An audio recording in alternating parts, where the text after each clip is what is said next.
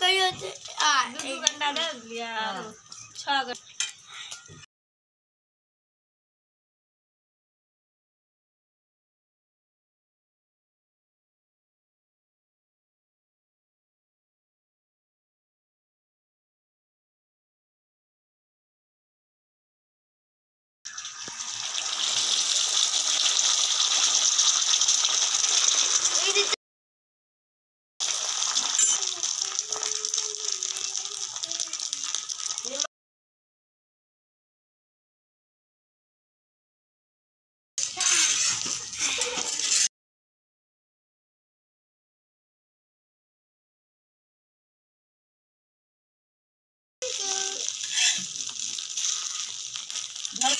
देव